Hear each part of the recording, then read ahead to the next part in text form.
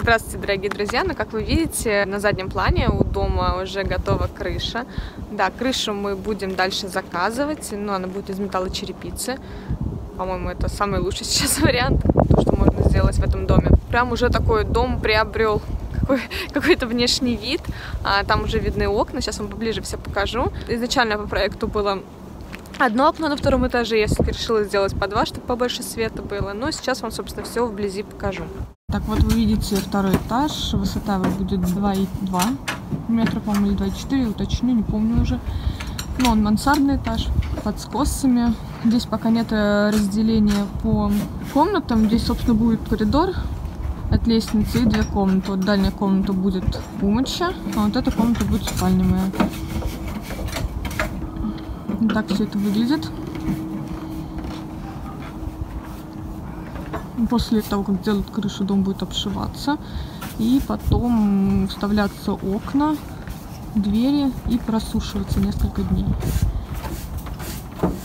Так, сейчас у нас дом обшивается ветрозащитой. И, собственно, делается уже наружная облицовка, так сказать. Кому интересно, посмотрите фирму.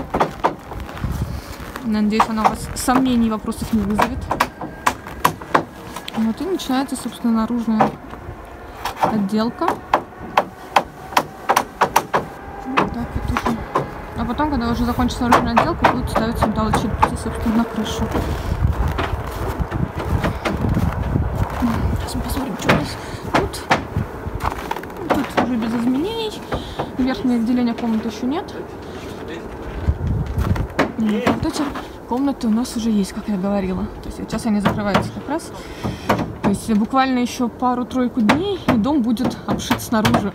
будет его какой-то такой уже полузаконченный, так сказать, вид. Вот.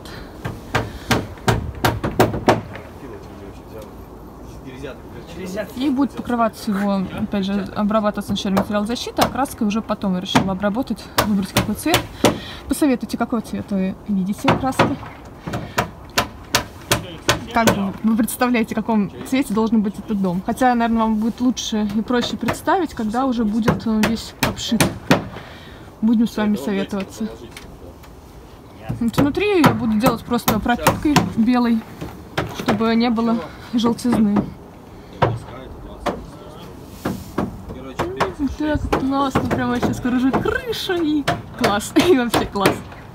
Вот. Но, собственно, после того, как весь дом снаружи обошьется, окна, двери и сушка. И в это время как раз будет делаться канализация, э, вода. Чтобы потом несколько раз полы не дырявить и сразу под них входы сделать. Вот, и большое окно. Да, все-таки я выбрала большое окно. А, кстати, вот все говорили, что неправильно сделано окно, вверх и так далее. Все сделано правильно.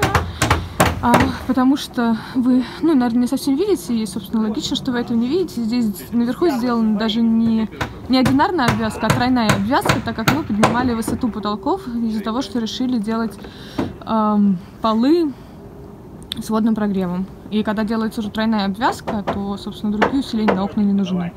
Нагрузки на окна никакой не будет. Ни от снега, ни от крыши, ни от чего. Ну, так что вот так вот. Ну, до скорых встреч. Подписывайтесь на нас.